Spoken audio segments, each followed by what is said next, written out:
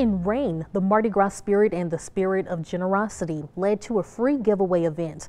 Brian Mouton, along with JB Cruisin' Cuisine, gave out free food and Mardi Gras items to residents. Residents, organizers say they wanted to give something back to the community despite Mardi Gras events being canceled this year. Mardi Gras is way more than parades. It's about the people, the, the, the, the, culture of it, the Mardi Gras Indians, and it's about the craft and how authentic these costumes are uh, and the time it takes for folks to do those things.